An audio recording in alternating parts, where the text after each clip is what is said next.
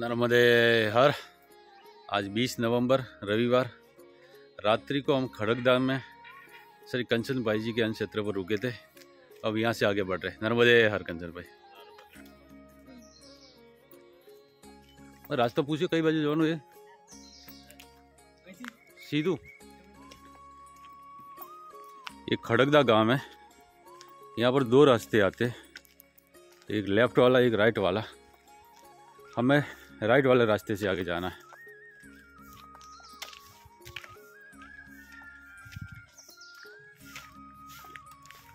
खड़गदा गाँव को पार कर एक नदी मैया आती है,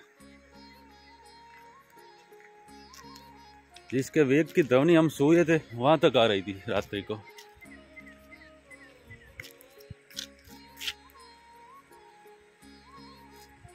है माना इस नदी मैया का नाम क्या, वो तो पता नहीं।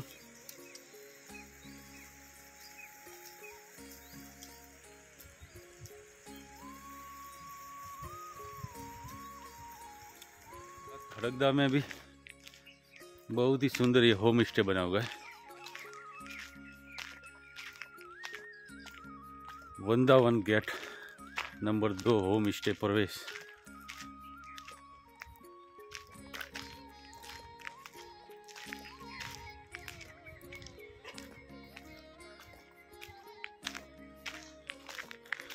हम वह सामने से आए, जहाँ पर वो बाँध खड़ी है। वहाँ से वो सड़क, इस मेन सड़क को मिल जाती है। यहाँ से ज़रिया जाते और पीछे वाला सीधा ये रास्ता राजपीपला, ग्रुडेश्वर और टैक्सी ऑफ़ यूनिटी को जाता है। यहाँ से आगे नानी अम्बाजी बोलते जो कि लगभग यहाँ से पाँच से छः किलोमीटर दूर है।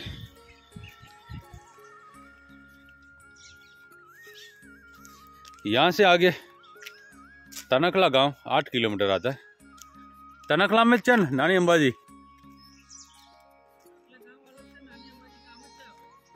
એવું છે अभी हम जरिया गांव में आए और जरिया गांव में पंचमुखी हनुमान जी का मंदिर है है किधर देखते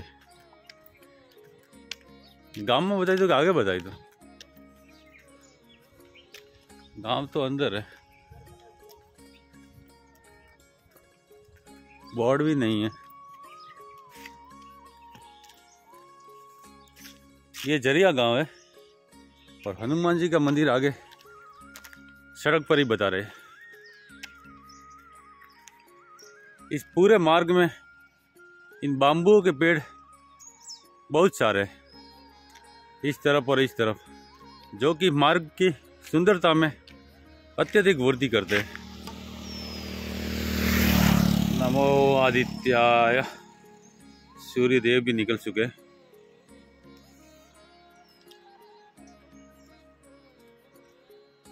साथ ही ये जो कुटिया बनी हुई है, ऐसी कुटिया भी बम्बू की लकड़ियों से बन जाती है।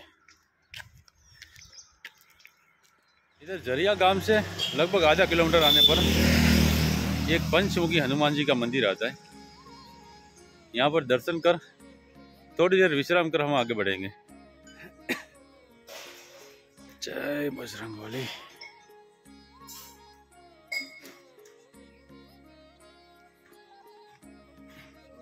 नर्मदे नर्मदे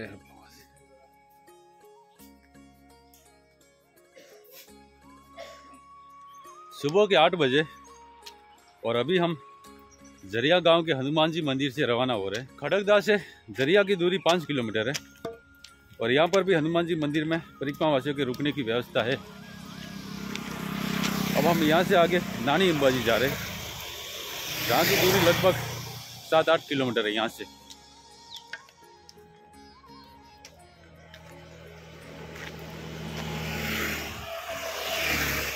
ज़रिया गाँव से लगभग एक से डेढ़ किलोमीटर आने पर उड़वा गाँव आता है। और उड़वा गाँव पर ये कैनाल बनी हुई है सरदार सरोवर की। ये सामने जो दिखाई दे रहा है, ये उड़वा गाँव है। नर्मदे, हर।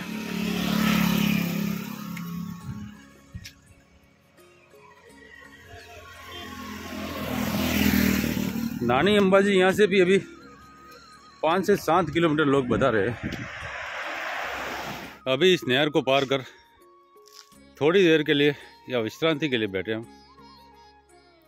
बहुत से लोगों की ये मान्यता होती है कि वहाँ से मैया का पानी आता है, उसे पार करने से परिक्रमा खंडित हो जाती है, उधर से आता है। तो ऐसी कोई बात नहीं, अगर ऐसी है तो ये जो नहर आ रही है, ये भी मैया का ही पानी है। ये माँ नर्मदा ही है एक प्रकार से। तो इसको भी पार करने से परिक्रमा खंडित ही हो जाती है, और इसको पार किए बगैर परिक्रमा करना संभव ही नहीं है।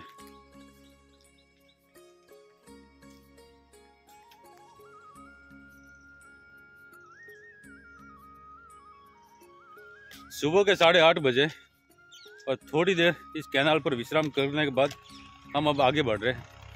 अभी भी अंबाजी यहाँ से सात आठ किलोमीटर ही बता रहे हैं। धूप भी निकल चुकी है तो स्वेटर और टोपी भी बैग में रख दी है।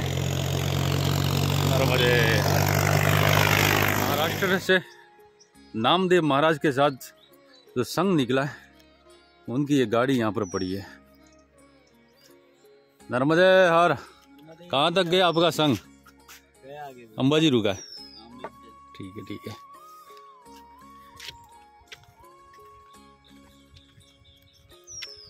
पीछे नहर से हम लगभग दो किलोमीटर चलकर आते हैं।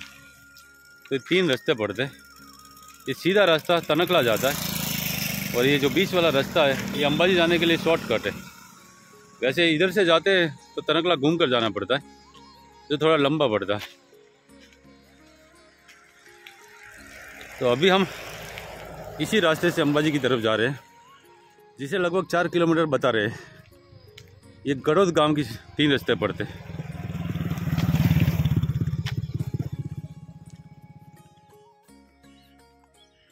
अब हम जैसे जैसे आगे बढ़ेंगे पानी क्षेत्र की तरफ़ बढ़ेंगे, क्योंकि ये जो सारा क्षेत्र है, ये आदिवासी क्षेत्र ही है। और आगे से एक दो दिन में हम पानी झाड़ी में प्रवेश करेंगे, उत्तर तट की।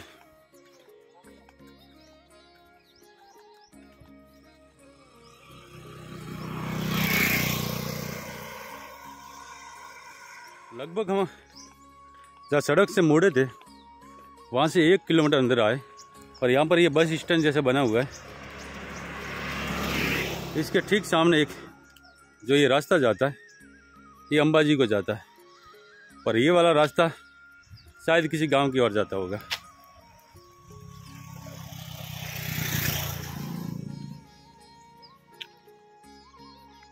इस विस्तार में आपको हर जगह चारों तरफ़ सागवान के पेड़ दिखाई देंगे। जहाँ देखो वहाँ सागवान ही सागवान है।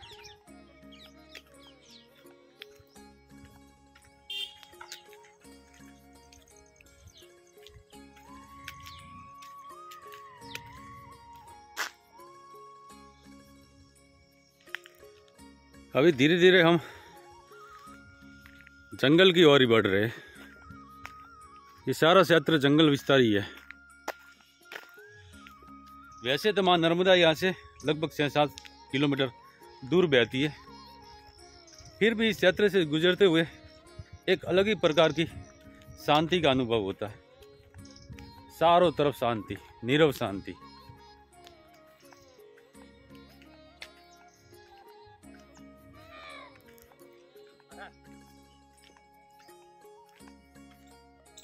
यहाँ पर एक नाला आता है बीच में, और इस गाँव का नाम है वालपुर।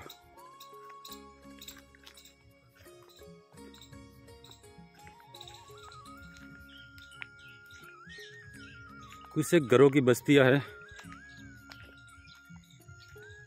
जिसे हम गाँव कह सकते हैं।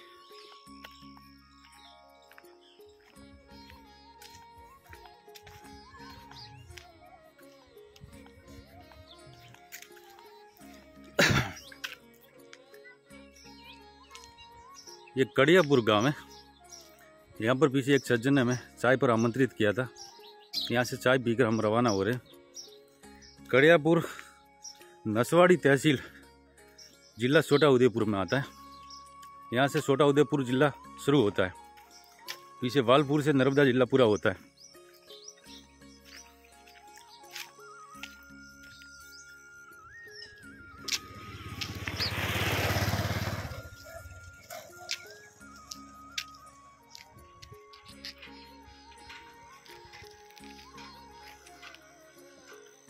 कालियापुरा से हम अभी लगभग एक आध किलोमीटर आगे आए और यहाँ पर ये तीन रास्ते पड़ते हैं।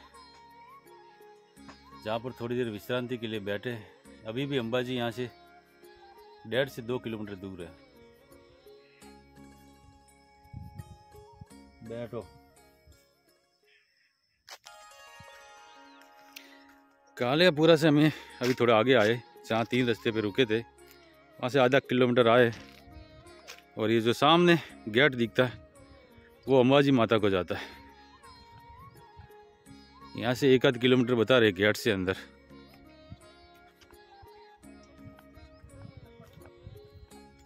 दरवाजे पे ही माँ अम्बा को झूले पर बिठाया स्वागत के लिए।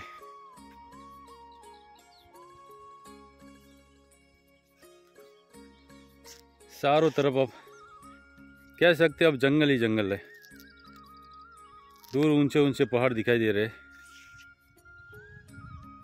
ये वाला रास्ता तनकला को जाता है। यहाँ से भी कुछ लोग आते हैं, इस तरफ़ से भी। दोनों रास्ते यहीं आकर मिलते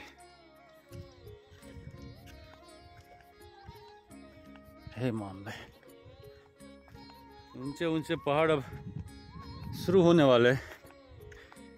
पहाड़ बता रहे हैं कि अब हम झाड़ी में कुछ ही समय में प्रवेश करने वाले पहाड़ और ये चारों तरफ़ सागवान के पेड़।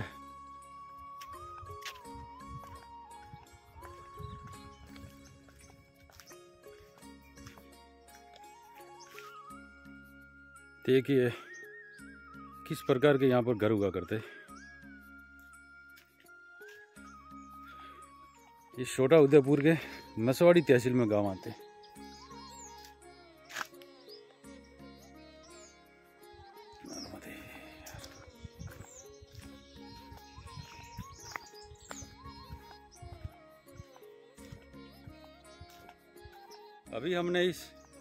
प्यारे से गाँव को पार किया है।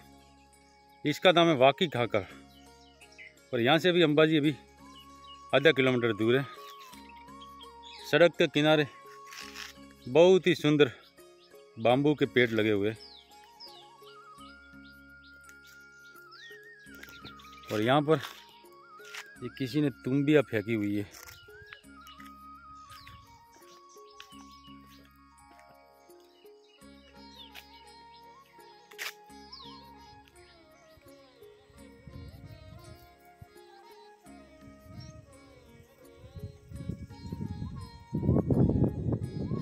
सुबह के 11 बजे, और अभी हम लगभग नानी अंबाजी माता जी से बोलते वहाँ पहुँच गए। सामने ही थोड़ा आगे मंदिर है।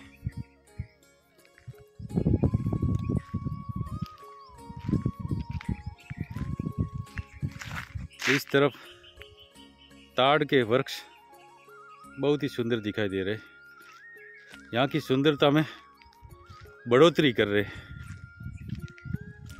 क्योंकि सारा क्षेत्र सुंदर तो है ही।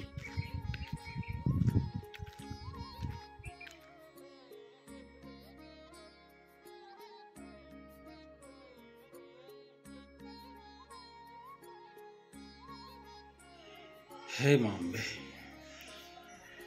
मंदिर के ठीक नीचे या पीछे के हिस्से में स्वयंभू प्रतिमा स्थापित है।